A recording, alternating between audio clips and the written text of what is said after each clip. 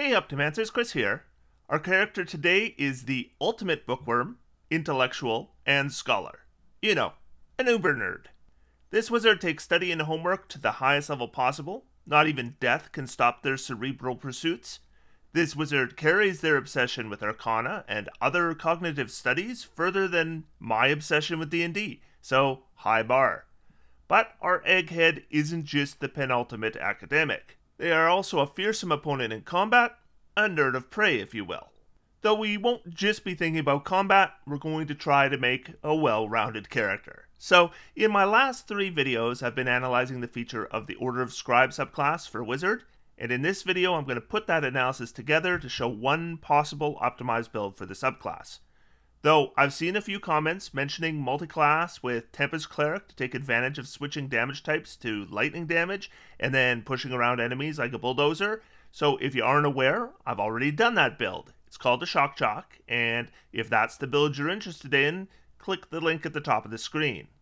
What I want to do today is show a more Order of Scribes focused build. This is a subclass that works great as a non multiclass wizard or a wizard with a single level dip for armor class. When I make a build decision, I'll do my best to cover the options and the benefits and costs of each of them. I want to start with the racial options, and I'll start by saying you can make a really good wizard build with any racial option in the game. So if you have a great concept for a Goliath wizard, don't draw the conclusion that because it's not a quote unquote best racial option, it can't be optimized and effective the vast majority of our power comes from the wizard class itself and the Order of Scribes subclass itself. And the Goliath features, they're just fine. But there are races I do think are ideal picks. So here's some factors I consider when picking a race for Order of Scribes Wizard. Talked about this in the video analyzing Manifest Mind, but moving around our manifested mind is going to be eating up our bonus actions like Pac Man eating dots. So, races that have bonus action centered features are going to result in an overly bonus action hungry build. Otherwise, races like Goblin or Shadar-kai, for example, would be tempting. Speaking of bonus actions, that's also going to affect our spell selection. We don't want to overwhelm ourselves with spells that are eating up our bonus action every round because we aren't going to have it. I also consider size when I make a wizard because Dimension Door and Thunderstep, which are both fantastic go to spells. I mean, you don't need to have both of them, but you should have one of them. Have this bit where if you want to teleport with an ally, they can't be larger than you. And I'll tell you, this comes up and it is frustrating when you play a small size wizard. If the Strixhaven spell Vortex Warp is available in your game, I especially recommend it for small sized characters as it allows teleporting creatures bigger than you and it alleviates the inconvenience to some degree. But in general, I prefer a medium sized wizard. Speaking of Strixhaven, I'm not going to be using Strixhaven content in this build, but if it is available to you, by all means you should take Vortex Warp and you should take Silvery Barbs as well. Any flying race is always going to be a great option. That's pretty much universally true. Unlimited flight is pretty much always good, and the only real downside is restriction against medium and heavy armor. But you can do mage armor, a good dexterity, I mean, I would aim for a 16 dexterity and then put a shield on there, and you're going to have a very respectable armor class. Of course, a multi class dip is going to be needed for the shield proficiency, and I guess it's debatable if that's really worth it. Good movement rates are also going to be a great option, even if it's just used for moving into cover that you otherwise couldn't have, or moving out of range while your manifested mind blows up the enemies. So, Centaur and Tabaxi, they do stand out as good options as well.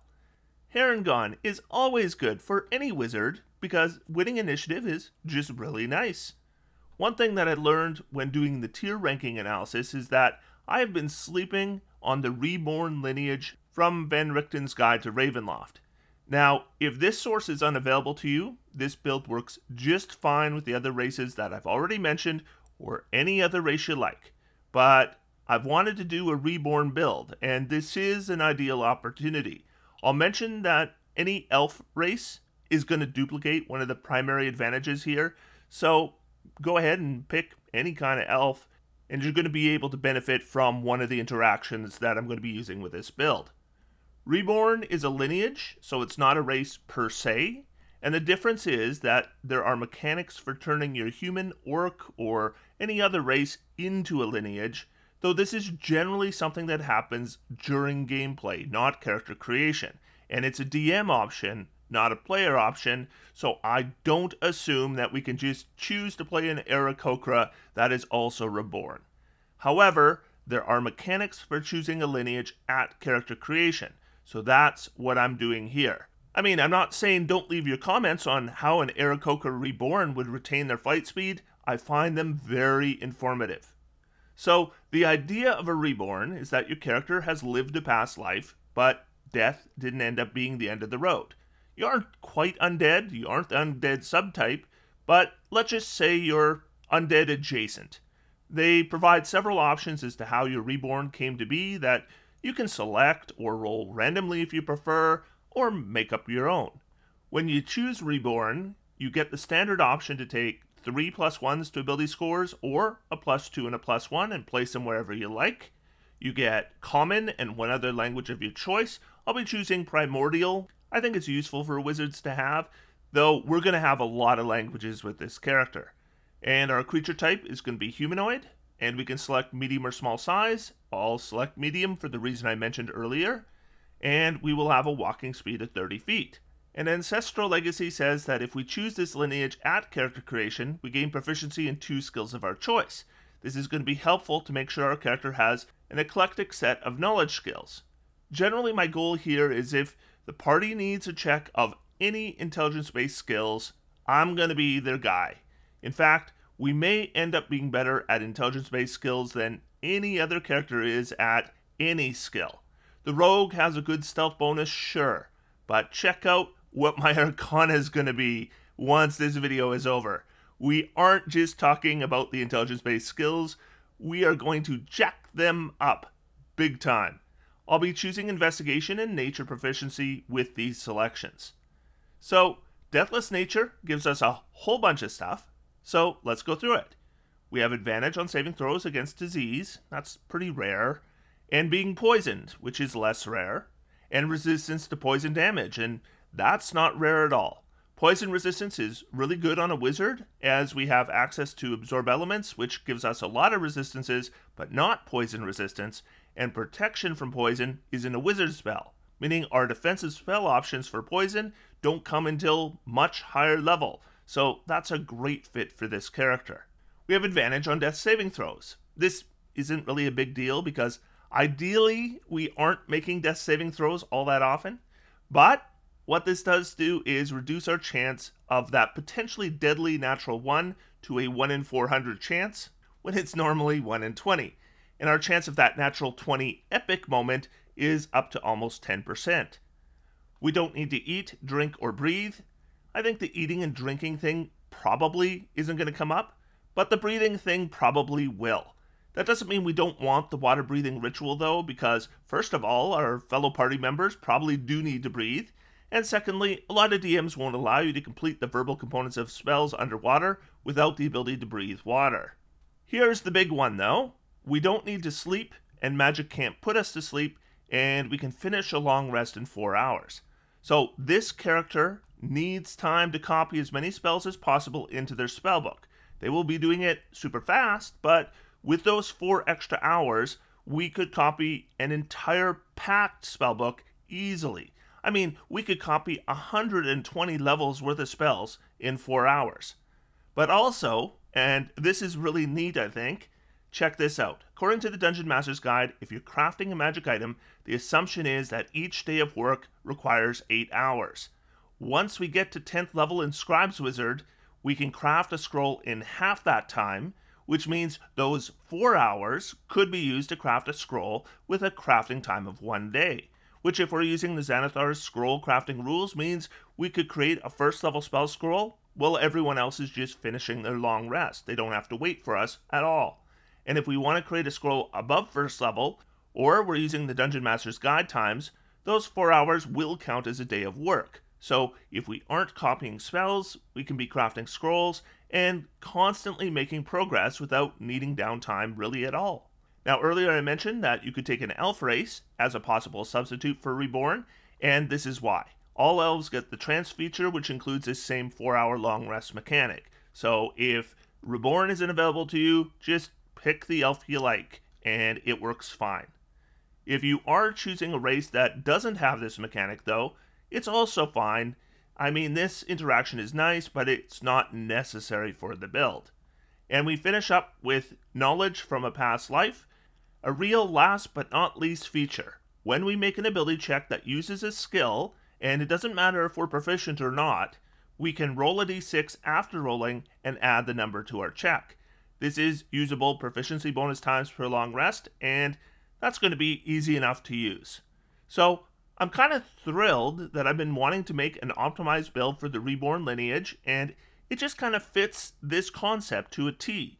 More skill proficiencies in the skills we want, bonuses on skill checks, four extra hours each long rest to copy spells and craft scrolls, and some extra goodies on top that work really well for Wizard. So that's our pick. Let's go on to ability scores. I'm going to be taking the plus two plus one option with the plus two in intelligence, of course, and the plus one in Constitution. With a point buy, that would be a 17 Intelligence, 14 Dexterity, 14 Constitution, 13 Wisdom, and I've dumped Charisma and I've pumped up that Strength to 9. 9 is really strong for a wizard, but carrying all those books, you know, it got me swole. I think for some of you, my multi class decision should be pretty obvious, but I do want to discuss your options here. With any wizard, it's really tempting to take an armor dip, so you take one level in another class and you get proficiency in medium armor and shields, and that's going to give our wizard a solid armor class. If we choose a spellcasting class with the required armor proficiencies, we won't just get more spells, we'll also get full spell slot progression. So that leaves us with Cleric, Artificer, and Druid. Though with a Druid, the non metal armor restriction should be considered, though check with your DM, a lot of them hand wave that whole rule. Actually, I should mention that someone suggested a magic missile, fire damage focused build idea using Scribe's Wizard. Here's the post from Ryan. There are three subclasses Draconic, Wildfire, and Celestial that add bonus to any fire damage spells. Since Scribes can cast Magic Missile with fire damage, do you see a build that focuses on Magic Missile able to complete with the Hex Foker? So the idea would be you take two levels in Scribe's Wizard, then you pick up Magic Missile and a first level wizard spell with fire damage, like Burning Hands, so you could switch the missiles to fire damage. Then you pick up six levels of Draconic Sorcerer, six levels of Wildfire Druid, and six levels of Celestial Warlock, and you would use your ability score increases to increase your Charisma up to 20. So then you could cast Magic Missile and add a d8 with your Charisma twice to your damage roll. So extra 14.5, which, because of the weird way Jeremy Crawford tells us to use Magic Missile, where you're only supposed to roll one die and then you apply that damage result to every missile, would mean that each missile would do 17 points of damage on average. So that's 51 fire damage with a first level slot, and 17 more per additional spell slot level. Now, I could see doing this as a novelty build in a level 20 one shot or something, but it's not a character build I would want to play in a campaign for sure, and it would take a long time to come together at all. And man, that build would suck against creatures immune to fire damage. It's really a one trick pony. Also, it's not really a Scribe's Wizard when only 10% of your levels comes from Scribes, but it was an interesting enough idea, I thought I would shout it out here. Thinking of these kinds of synergies with different multiclasses is a lot of fun. The build I'm presenting today doesn't rely on any of those kind of tricks. Artificer is kind of the go-to for wizard armor dips, and for good reason. You get Constitution saving throw proficiency off the bat, which is ideal, though you might consider the resilient feat anyways at some point as you don't really want a weak wisdom saving throw, they can be a real Achilles heel. But you also don't have to worry about ability score, since both the wizard and the artificer have intelligence as their primary score. The disadvantage of artificer is the requirement to be holding the artificer spell focus whenever you cast an artificer spell. For most wizards, this is mainly just an inconvenience. You're constantly using your interaction to either pull it or put it away. But for Order of Scribes Wizard, it actually presents a bigger problem since the Order of Scribes Wizard also has a mechanic where they need to hold their spell focus, but it's not the same focus. Our spellbook is our focus, and only for our wizard spells. The interaction rules allow you for storing a focus or drawing a focus, but not for both. So there is a specific conflict here. Cleric doesn't give us the Constitution saving throw proficiency, but otherwise it's just much more clean. And unlike a Druid dip, we get the advantage of gaining our subclass as well as a subclass feature right at level 1. Now, if you want the non flavorful but most powerful option here, by all means take a peace dip, you filthy min maxer. But I think our concept is better served by the knowledge domain. So we're going to take religion and insight as our starting proficiencies. Religion is an intelligence based skill, and insight isn't, but it's a useful skill, and we're going to have all the intelligence skills and more to spare, so we can definitely afford insight. With Blessings of Knowledge, we're going to learn two languages. I've taken Abyssal and Infernal. Like with Primordial, it might be useful for dealing with creatures we might summon or might encounter, and we get proficiency. In fact, double proficiency. So it's expertise. I don't know why they don't call it expertise, but that's what it is. So these will be our two best skills. Arcana and History are just the obvious choices, I think. So we are now proficient in every single intelligence based skill, and we haven't gotten to our background yet. Now, for spells, it's relevant that these spells use Wisdom as our spellcasting modifier, and for us, that's a plus one. So I wouldn't be taking Sacred Flame or anything like that. For domain spells, we'll have Command, and again, I wouldn't count on our poor spell DC for the Command spell. But Identify starts our journey into rituals, and it doesn't rely on our wisdom. For cantrips, I'm going to take Guidance, Light, we don't have Dark Vision, by the way, so definitely Light, and Spare the Dying. None of these rely on wisdom. For first level spells, we'll only have two preparations. Now, keep in mind with Cleric, you can switch these out after long rest, but my go to preps would be Bless and Healing Word. Bless is a top tier first level spell, probably our big play at level 1, and Healing Word is one of those spells that technically relies on your casting ability score, but not in a way that really matters. If someone is at zero hit points and we have the spell slot, we can bring them back up and they'll go right back down again if they get hit again, just like they would be if we had a wisdom of 20. So for backgrounds, if you have the option to take campaign world specific background, nowadays most of them give you a free feat. Dragonlance backgrounds actually give you two free feats by level 4, and Ravnica backgrounds can increase our wizard spell list, so if any of these are available, by all means take those. If they aren't, then take something like Sage. That's what I've taken. We'll need to select different skills since we're already more than proficient in Arcana and History. So I'm going to grab Acrobatics and Perception. They're both useful skill proficiencies, and I have all the intelligence based skills already. And we're down to the point where our language selections are take what you want, because we're into now common and five additional languages. You friggin' nerd. For equipment, I'm to grab Scale Mail, a shield with an emblem spell focus on it, so no conflict with holding our spellbook later on, and a light crossbow because at level 1 we might want to use that instead of wearing the shield since we don't have an attack cantrip.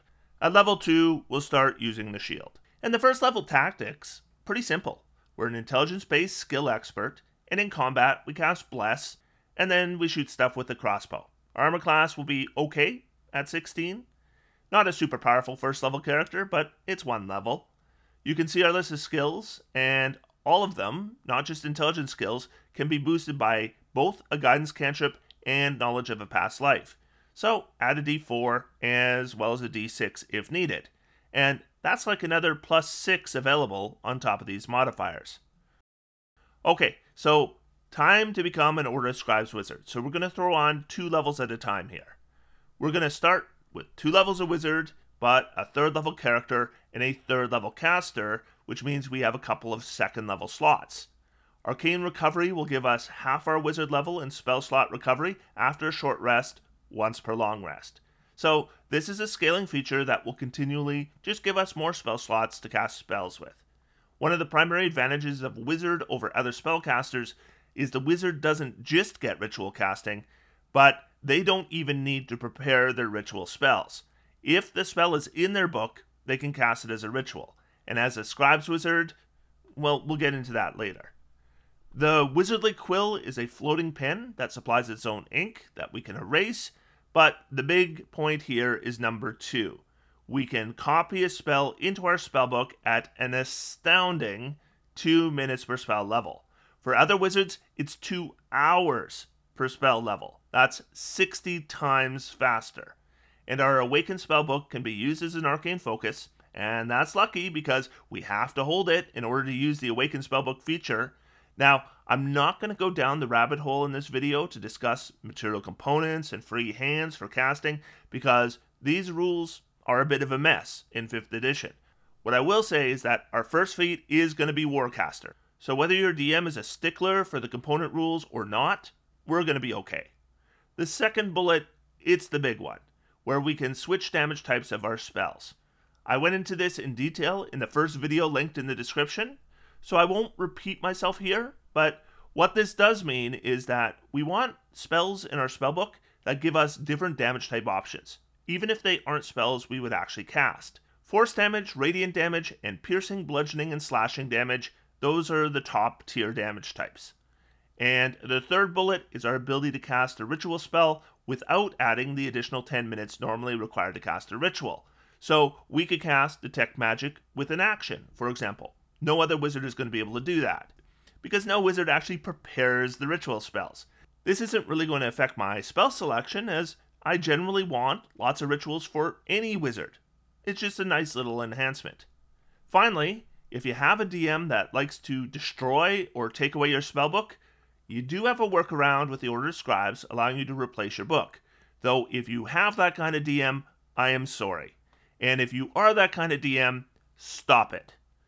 So, we're into spell selection, and it's taken me a long time to do a Scribes build because, honestly, with a build video I can't make assumptions for what spells you will have the opportunity to add to your spellbook beyond the given two additional spells per level, and an Order of Scribes wizard is desperately wanting to take advantage of that option for multiple reasons beyond other wizards, both to fuel the feature that we just got where we can switch damage types, and much later on for fueling our 14th level subclass feature. So I think I'll just give my general advice here copy as many spells as you can. If you have the gold and the spell to be copied, then there's not really a spell that you shouldn't copy into your spell book. I would certainly prioritize, though, within those restrictions. So if you have limited gold, but you have all these spells to potentially copy, start by copying the spells you might actually cast first. Then consider damage type switching and finally, the spells that are just filler. But I'll just cover our standard spells with the build. We definitely want an attack cantrip, so we can put away our light crossbow and actually use our shield for a plus 2 armor class. So I'm going to pick up Firebolt, also pick up Mind Sliver, and finally I'll grab Minor Illusion. So Minor Illusion is a versatile little cantrip, and one of the better cantrips in the game. I've devoted an entire video to it, so I guess I'll link that at the top of your screen then Firebolt is our top damage cantrip using an attack roll. It has a good range and it says we can target objects, which over time I've come to consider maybe the best rider of any attack cantrip. And Mind Sliver gives us a different damage type and targets a saving throw, intelligence, which is generally speaking the best saving throw to target. And we get a nice rider here too, giving the targeted creature a penalty on their next saving throw. A first level wizard gets six spells in their spellbook of first level, and they get another two at level two.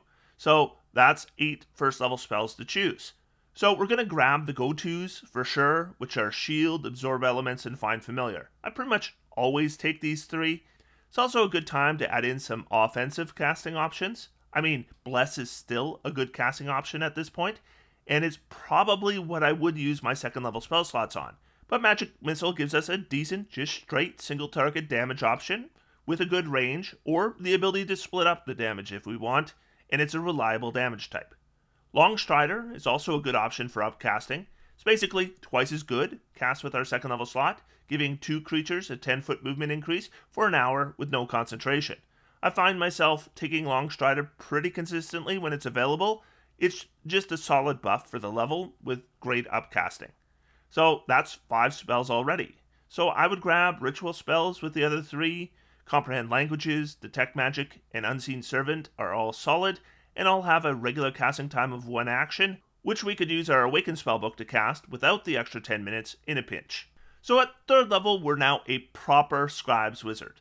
Adding our shield to armor class bumps it up to 18. That's a solid number. Of course, when half plate becomes available, grab it and bump it up to 19. Out of combat, we have an upcast Longstrider to buff party members with a long duration and no concentration, and in combat, an upcast Bless is probably our biggest play, followed up by cantrips or a magic missile if we want a damage boost. Though I would recommend holding back a first level slot or two for when we might need an absorb elements or a shield spell. We really shouldn't need to switch damage types on spells much at this level, but if you do fight a creature that has a damage vulnerability, well then you can tap absorb elements to switch out your magic missile damage type for a number of damage type options. We can prepare all our non-ritual spells by the way. We even have one to spare. Maybe for a spell that we get to add to our spellbook beyond this number, hopefully. So let's add two more levels. This is now a fifth level character, one cleric for a wizard, and we'll have third level spell slots, but no third level spells at least for one more level. I've already mentioned that our ability score increase will be used to grab the Warcaster feat. This will take care of any issues casting spells with a shield in one hand and our spellbook in the other. It also protects our concentration, which I think should be a priority for pretty much any devoted spellcaster, and we can cast spells at a target in place of making an opportunity attack against them, which I don't really see coming up with this particular character very often. We're adding one more cantrip, so I'm liking Mage Hand here. Mage Hand is basically a short range minor telekinesis cantrip. If you play D&D, I probably don't need to sell you on this pick. And I'm going to select four more spells. I'll take second level spells for all of these picks, but again, hopefully it's going to be more than four. But these would be my four selections if they didn't come up as opportunities for extra scribing. Web now becomes our biggest play in combat. This is another spell I've devoted a whole video to, so I guess I'll link that video up above as well. If you don't know why web is good, check that out. But I think the value of web is pretty common knowledge at this point. I would definitely grab Tasha's Mind Whip, probably as one of my picks when I achieved 5th level and got 3rd level spell slots, because it's not just a solid spell, it's a really solid upcast option for those slots. Like with Longstrider, it's basically twice as good when we cast it with a one level higher spell slot. Mind Whip has a lot going for it. It's a pretty solid debuff on an enemy with no concentration required. So you could Mind Whip a creature caught in your web spell, and then that creature basically has no good options because if they use their action to free themselves from the web, then they won't be able to move out of it, and they'll likely just get caught again on their next turn. Mind Whip also removes reactions, which can be really useful and it does some damage. Not a lot, but it's one of those spells that does half damage even if the target makes their saving throw, which is intelligence, again, a good save to target. Now there's two kinds of characters. The first are characters who have a racial teleport option, and the second are characters that really want to have Misty Step. We're in that second camp. Easy pick. Also talked about how Misty Step combines really nicely with our 6th level Scribes feature. That video is linked in the video description. So this is an even better spell for us as a Scribes Wizard. So to me, this is a no-brainer pick. So our last pick is going to be Augury. When we prepare Web, Tasha's Mind Whip, and Misty Step, that is going to fill up our spell preparations. So this is a good opportunity to add another ritual which doesn't need a preparation. This is one of those divination rituals you only cast once per long rest because it starts to become unreliable after that. But basically, you ask the DM about a planned course of action, and they'll give you a hint whether it's going to work out well or not. Nice little divination ritual. So at this level, with just our base picks, we only have one damaging second level spell, and that's Tasha's Mind Whip, which does psychic damage. And that's not a bad damage type, but we don't have any options for switching that damage type. Again, we want to be scribing spells whenever possible, so maybe we do have an option to switch it. Something like Cloud of Daggers would allow us to switch Tasha's Mind Whip to slashing damage, which is super reliable. For example, Dragon's Breath would give us several options. Even the absolutely rotten Dust Devil spell would give us bludgeoning as a damage option. Speaking of bludgeoning damage, yeah, you could make a Scribes build that focuses on delivering bludgeoning damage with spells, and then you could take the Crusher feat to add some force movement on those spells, which would be cool. And yes, I did consider that, but there's a couple issues here that are kind of insurmountable. The first is that Crusher Force movement only works once per turn. That's a pretty big limitation. But the bigger issue is it requires an attack that delivers bludgeoning. And our spells are not going to be attacks, except for our cantrips, and we don't have any bludgeoning cantrips. And so, sure, we, we could take Chromatic Orb, and then, you know, you grab Catapult for first level casting, Dust Devil for second level casting, Erupting Earth for third, Evard's Black Tentacles for fourth, Bigby's Hand can do bludgeoning damage with Grasping Hand, so that's fifth, Investiture of Wind for sixth, Whirlwind for seventh. There's more spell options for bludgeoning than that, but those are just some examples. So it wouldn't be hard to make a character that throws chromatic orbs and scorching rays and always does bludgeoning damage, and then can use the Crusher feat. I just don't think it's very optimal to be spending your spells on Chromatic Orb or a Scorching Ray for a once per turn 5 foot movement, on top of needing an additional feat. But I thought the idea was at least worth mentioning.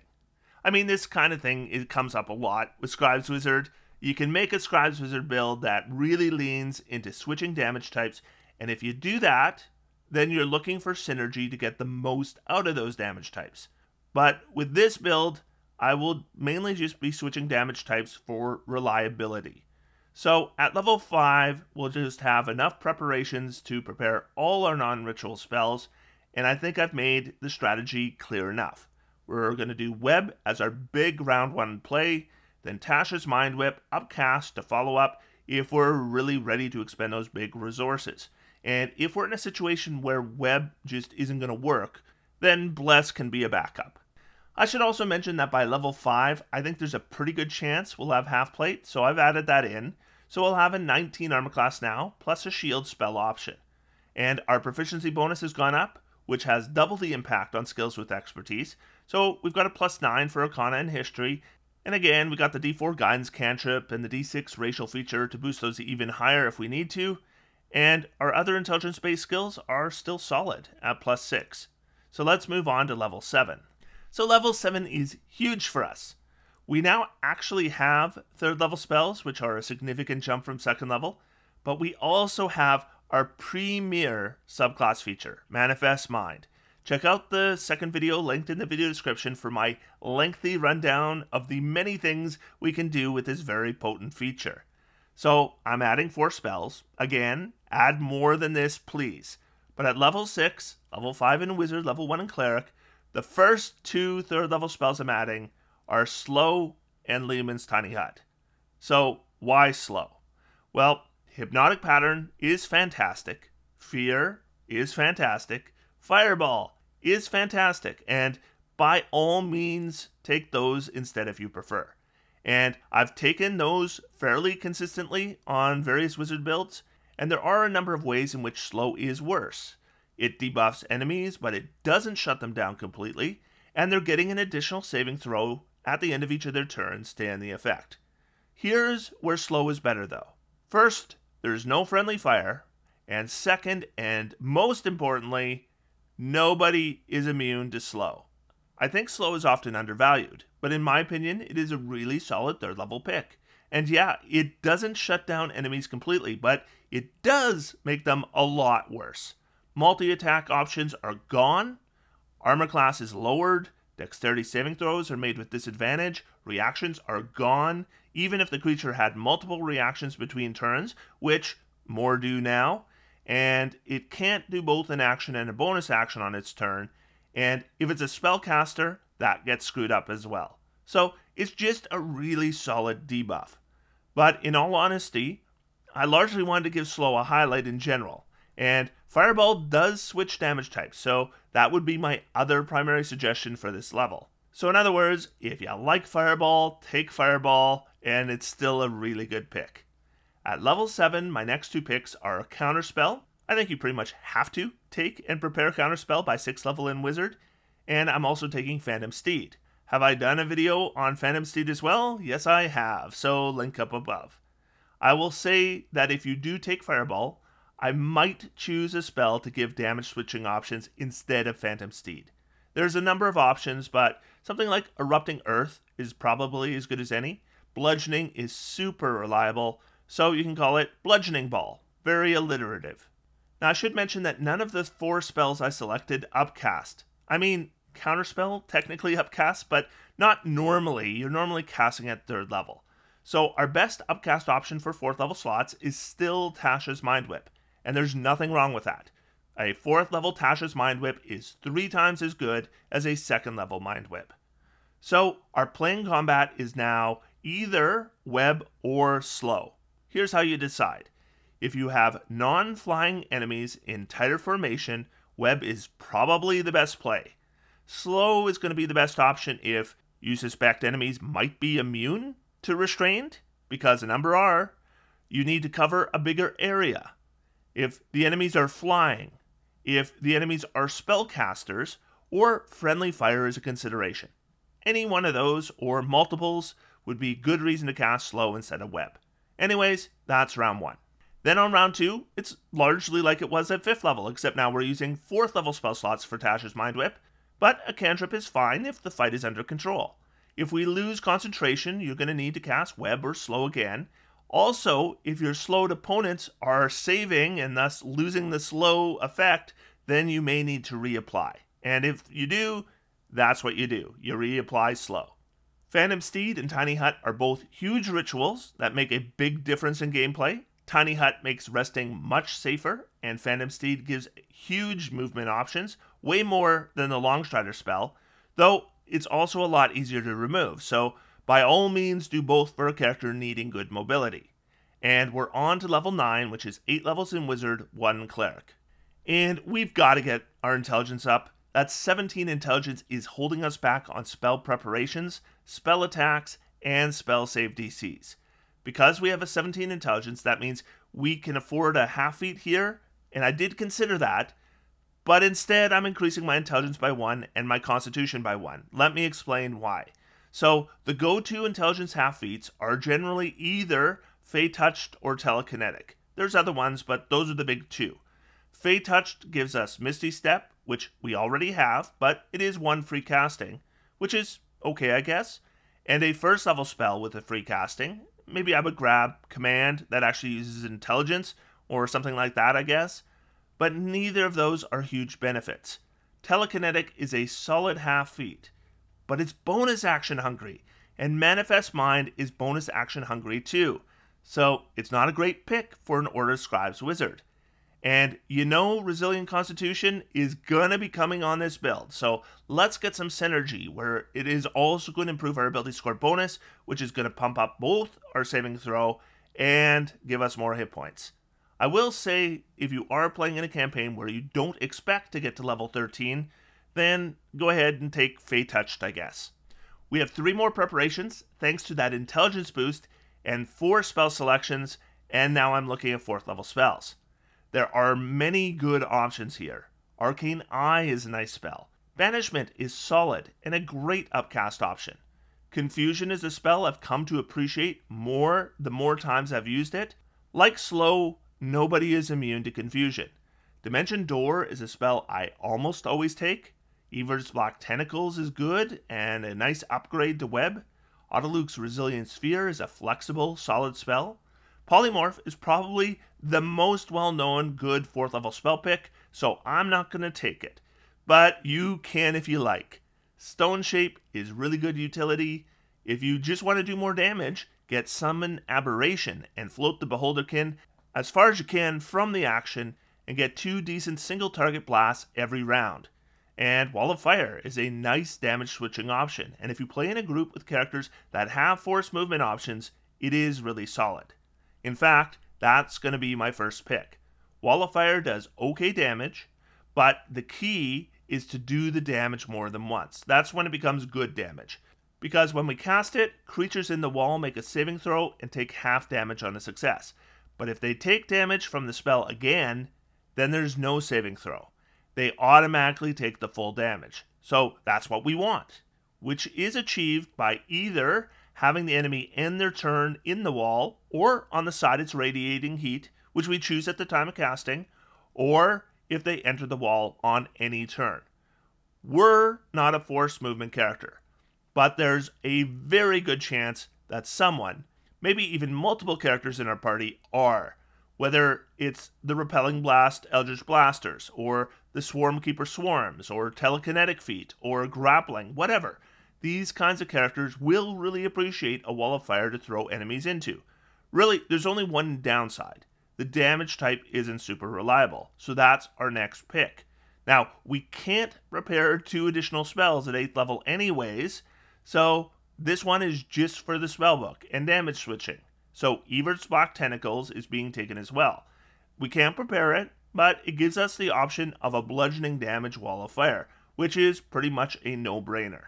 But if you are using this build and you are playing in a group where people don't use force movement, then I would take Summon Aberration instead at this level.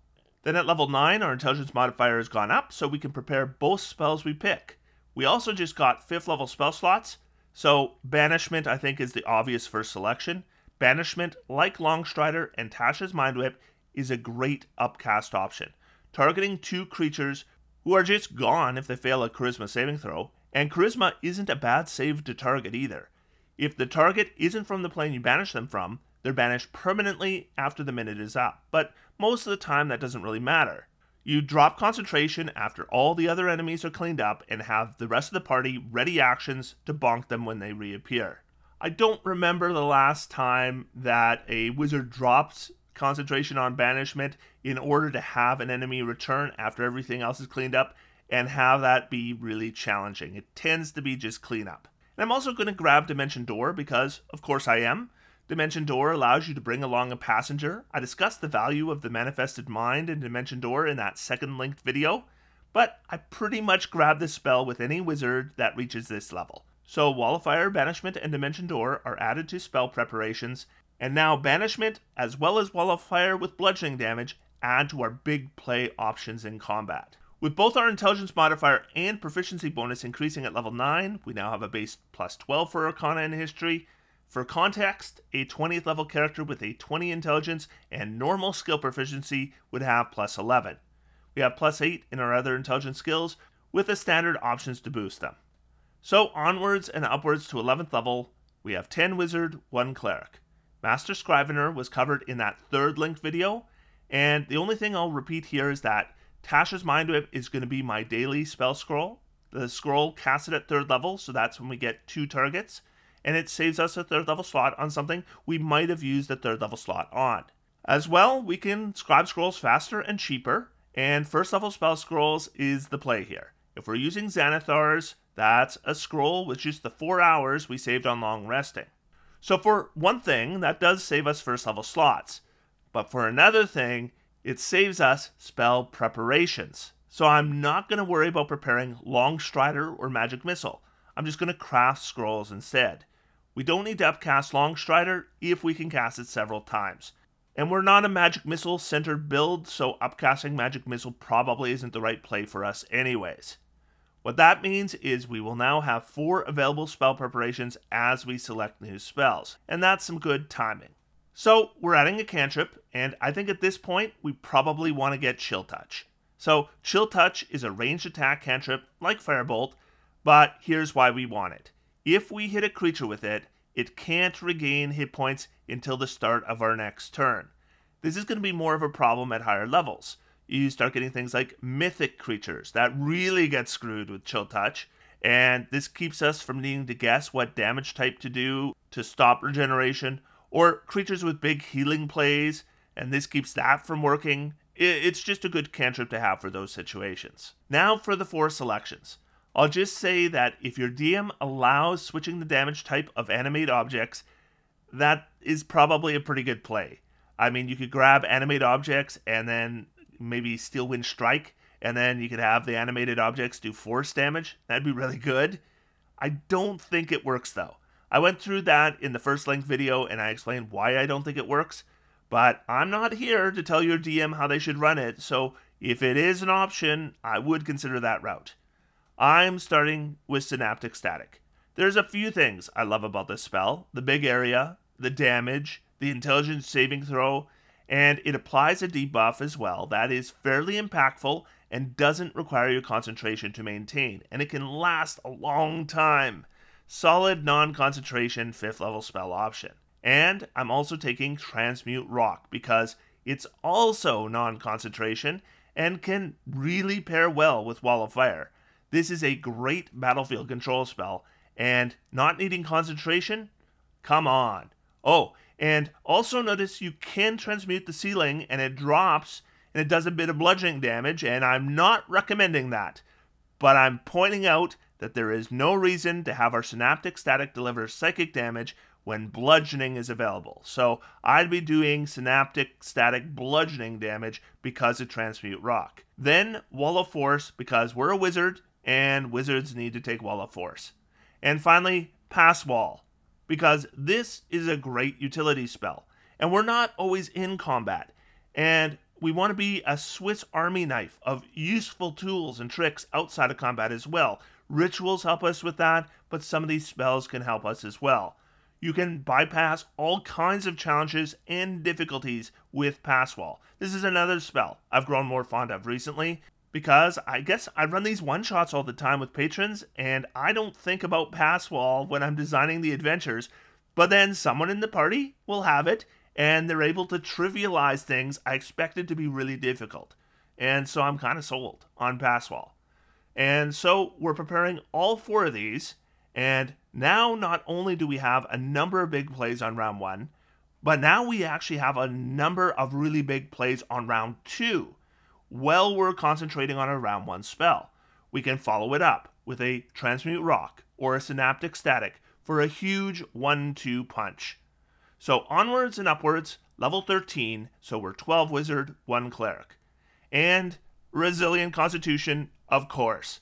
Concentration is now protected much better. A plus 8 Constitution saving throw with advantage if it's a concentration save due to damage. Technically, there's a chance of failing a DC 10 concentration save, but it's 1 in 400, and it is going to be 0% eventually. It's also another 13 hit points, which is nothing to sneeze at. So we will have two additional spell preparations and four more spells. I am starting with contingency because Wizards take contingency at level 11. We have Dimension Door, which is a great contingency option. I mean, potentially because I have heard that apparently some DMs won't let you pick the direction of your Dimension Door when it goes off through contingency. So if you have one of those DMs, then you probably want something else. So I guess if you can inscribe Otiluke's Resilient Sphere into your spellbook, that would be another option. Personally, I allow the player to pick the direction of Dimension Door when it goes off. But if you're not sure, check with your DM. A nice thing about contingency is when we're adventuring, we don't need to prepare it because after it's cast, it lasts for 10 days. So we just prepare it when we cast it and then we prepare something else. So I would do Dimension Door if maybe if I fall to 20 hit points, or maybe when I say the magic word or blink twice rapidly, something like that. And yeah, mass suggestion because you kind of got to, right? It's unfortunate there are these spells that are just too good to pass up, so you end up taking them every damn time. But that's the game we have, and I am not skipping Mass Suggestion, which will be my usual preparation at level 12. Then at level 13, I'm going to grab Rary's Telepathic Bond because it's a good ritual, and I only get one more spell preparation. And I'm also going to take Wall of Ice because when you get to high levels, Half the friggin' creatures have bonus action teleports, but they all need to see the destination. So let's get an opaque wall option. They can just bust through the wall and then move through it, but it's going to take time and it's going to deal some damage. So it's all good. If we pick up some more 6 level spells, this is a good candidate for damage swapping as well. And our proficiency bonus has gone up again, so we have plus 9 or plus 14 on intelligence skills with all the stuff. On to 15th level, so 14 wizard, 1 cleric. We now have our final Order Scribes feature, one with the word, and Ideally, our spellbook is way bigger than just the selections I've made in this video, in which case this is a reaction once per long rest that negates all damage and the cost is basically negligible. Also, we get advantage on Arcana checks, so that is going to be a plus 14 with advantage now. So start expecting 30 plus results, especially once we start adding guidance and our racial features. So here's the first time that we can just end this campaign if we're not having fun. Just take Simulacrum and you can break D&D. Congratulations, you just won. I mean, it would be a lot classier to quit the campaign so the rest of your group can still enjoy themselves, but if you want to be a prick, you can use Simulacrum and wreck it for everyone, which is why I never recommend this spell anymore. Speaking of which, I believe there was a comment on my Manifest Mind video saying that with Simulacrum, you could have two manifested minds operating at the same time. And I have to say, well done, commenter. You just found the one way that Simulacrum could be abused. My first pick is Teleport because I only get one more spell preparation, but I don't necessarily need to prepare Teleport. It's that Swiss Army knife outside of combat and all that jazz. But if we do need it, we will need to take a long rest. And Force Cage. Like Mass Suggestion, you just kind of got to. And got to prepare it as well. With my 12th level wizard selections, Reverse Gravity is a nice battlefield control option, and Etherealness, which we can't keep prepared, but we can keep it in our back pocket, Swiss Army knife, and all that jazz. And rather than go through level 16 to 20, of course, we would grab Maze and Wish, probably True Polymorph and Prismatic Wall. But as far as Order of Scribes goes, this is all the features here at level 15. And at level 16 in Wizard, I would be tempted to grab the Alert feat and then maybe pump my intelligence to 20 at level 19. There, that's the 20th level character if you are playing this character to level 20. So this build is not a trick build. Yes, I will be switching damage types and engaging in Manifest Minds shenanigans and crapping out spell scrolls and ignoring damage, and I am the intelligence skill monkey. But for the most part, this is the wizard's wizard. With the cleric dip, we only set back our wizard spells slightly, and we took spells that use those higher level slots well. The saving throws are good, the armor class is good, the hit points are good, we have an eclectic set of spells. We have battlefield control, damage, debuffs, utility, concentration, and non concentration, effective spells, targeting a variety of saving throws when a saving throw is even granted. Now, the one thing this particular build isn't going to be good at is single target damage. We've got some cantrips, we got magic missile, uh, but beyond that, it's all like area of effect damage or non damage. And if that is something that you wanted on this character, then I would suggest getting and preparing Summon Aberration. That will really boost that particular niche.